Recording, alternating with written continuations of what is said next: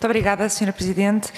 Começava naturalmente por cumprimentar o Dr. Jorge Gaspar e agradecendo a sua presença, agradecendo também os dados que nos disponibilizou e a distribuição imediata para a melhor condução dos nossos trabalhos.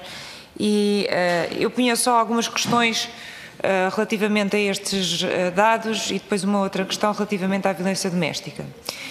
E as minhas questões são questões que têm a ver com o conjunto de, de números diferentes que surgiram ao longo destes anos relativamente a quais seriam as taxas reais de emprego, desemprego, subemprego e, portanto, são questões que eu coloco para a sua reflexão. A primeira pergunta que eu, que eu coloco é a seguinte: se seria ou não mais correto dizer se o emprego ao longo destes anos diminuiu ou, na verdade, estabilizou em patamares mais elevados, que é uma das questões que muitas vezes é discutida.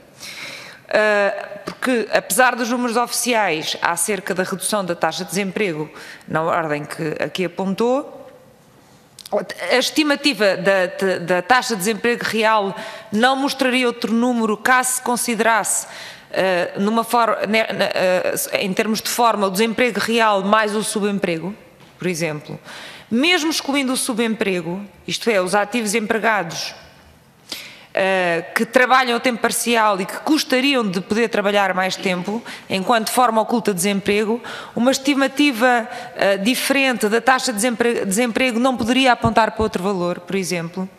Para a, divergência crescente uh, entre estas duas taxas, desemprego oficial e desemprego, real, conta ou não, sobretudo, o contingente de desempregados ocupados, que, uh, se não me engano, em março de 2015 eram 161 mil, bem como o volume de uh, imigrantes uh, em idade ativa, que têm de ser aqui con considerados e que constituem, no fundo, desempregados não computabilizados pelas estatísticas apenas por terem saído do país e que, em termos acumulados, passam de 12 mil para 322 mil no período considerado que estamos aqui a discutir. Uh, é claro que nós podemos sempre dizer que os números oficiais deixaram sempre de formas de fora. Estas situações de desemprego, não reconhecidas como tal pelas estatísticas, e sendo isso verdade, há aqui, no entanto, algo, penso eu, substancialmente novo e que aponta para o peso crescente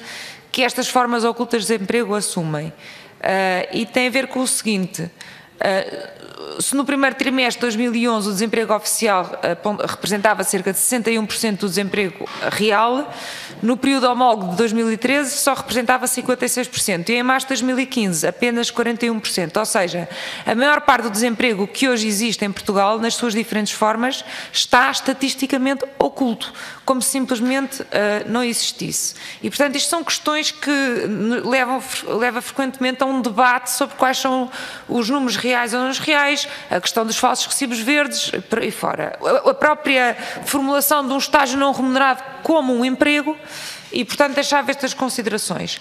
Relativamente à, à, à violência doméstica, a, a, a, minha questão é esta: como consta do Plano Nacional de Combate à Violência Doméstica, que uh, seja da, da, da, competência do Instituto a referenciação uh, da, das, das vítimas de violência doméstica, era importante para nós saber como é que isso tem sido feito. Muito obrigada mais uma vez pela sua disponibilidade.